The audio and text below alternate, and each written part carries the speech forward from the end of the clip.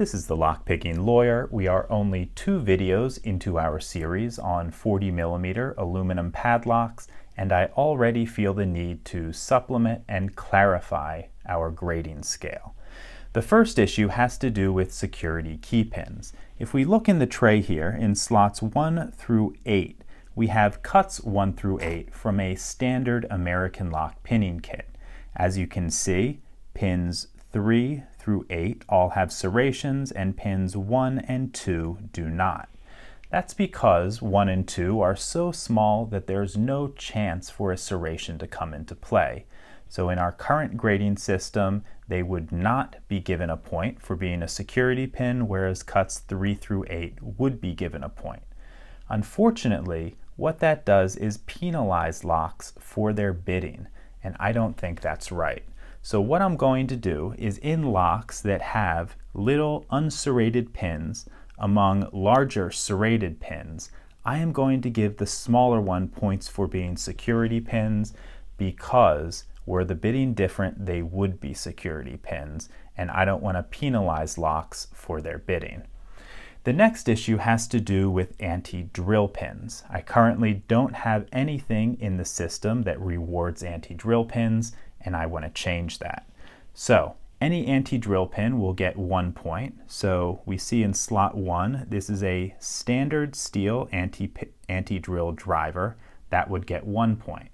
Where a anti-drill pin is also a security pin, I am going to double those points up. It'll get one point for being an anti-drill pin and one point for being a security pin. So we see in slot two, we have this steel anti-drill serrated key pin, that would get two points for whatever lock it's in.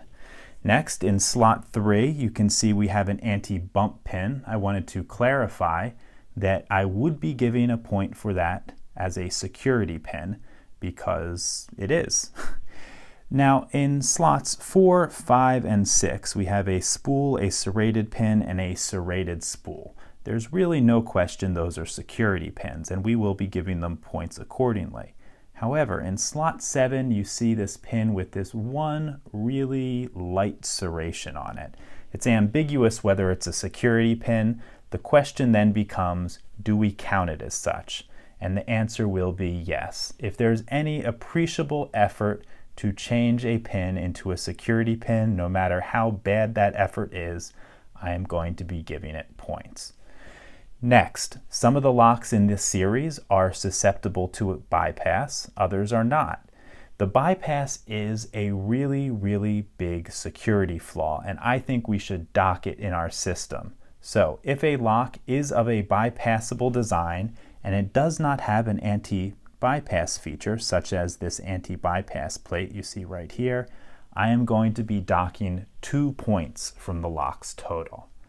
The final issue I wanted to talk about has to do with countermilled cores. Some of the locks in this series do have countermilled cores. They're a nice little anti-pick feature and I want to reward it in the grading scale. So, as you can see, this lock right here is a five pin lock. Every single pin chamber is countermilled. For any core that has countermilling, I am going to be giving it two additional points. So the question now becomes, do I need to make any changes in the last two videos gradings because of these clarifications? And the answer is no. The master locks each had one ambiguous security pin, one very, very lightly serrated pin in slot 5. I already gave them points as a, as a security pin, so there's no need to change anything. Neither of those master locks were of a bypassable design, so no issues there either. On the Chinese generic lock, it is technically of a bypassable design and there was no anti-bypass plate. However, because of its very tight keyway, I was not able to get any of my anti-bypass drivers in there to effectuate a bypass and I even tried making a special tool to do it and I couldn't get the bypass done. So I am not going to be giving that points for being bypassable if I can't do it. So those are all of my supplements and clarifications to the rules. If you have any questions or comments about this, please put them below. And now we'll just get back to some more picking videos. Thanks for sticking with me for this. Bye bye.